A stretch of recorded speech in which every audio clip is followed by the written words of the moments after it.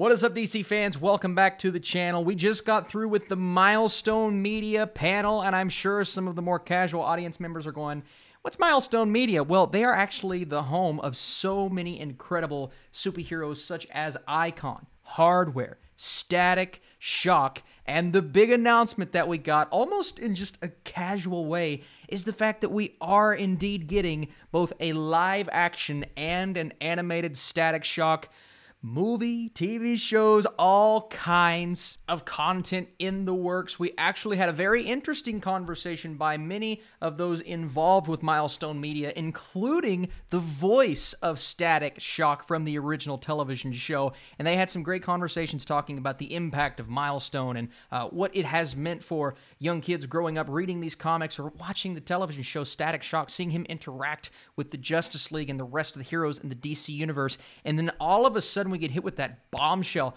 Yeah, we're not only working on maybe an animated series, maybe an animated movie, but a feature film for Static Shock. And that is huge news that I feel I, I hope it doesn't fly under the radar, but Static Shock is genuinely one of my favorite characters growing up. I loved the television show. I think he is awesome and could really resonate with a modern audience, uh, maybe those who aren't as familiar with the character. But my question for you all is are you looking forward to this possible Static Shock movie? Who would you cast as Static Shock?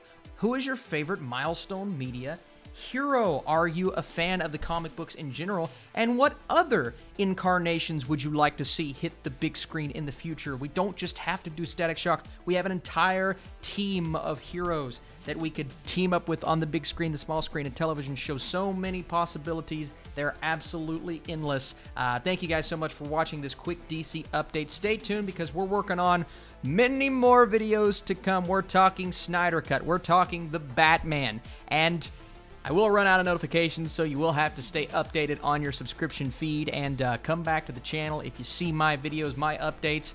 I'll see you guys very soon.